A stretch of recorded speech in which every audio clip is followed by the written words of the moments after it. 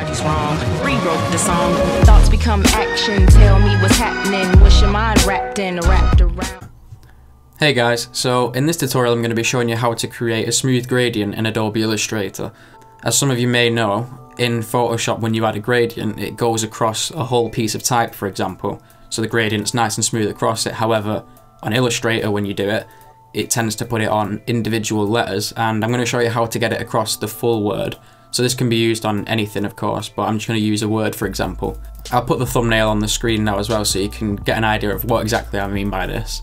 And just before I get into the tutorial, I just want to let you know that I'm probably going to start doing some more really short tutorials like this on just basic tips on Photoshop or Illustrator or whichever one I'm using at the time.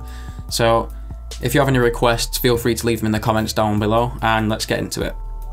Okay, so what you're first going to want to do is get your type or whatever it is you're using. So I'm just going to write gradient. Oops.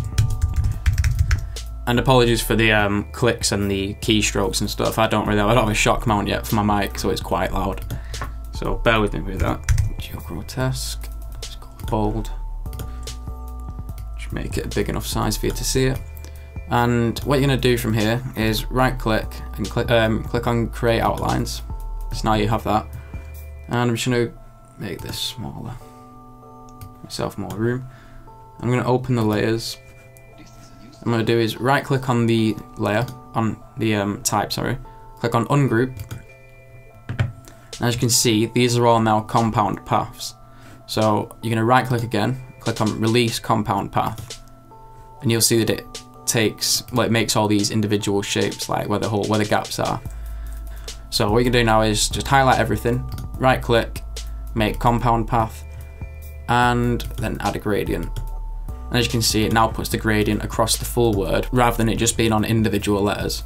So I hope this tutorial has helped some of you guys. I know this was definitely something that I needed to know when I first started using Illustrator and it took me a while to figure it out. But yeah, I hope this has helped you guys. Like I said before, feel free to leave some suggestions in the comments down below and I'll try and get around to doing them. Thanks for watching guys.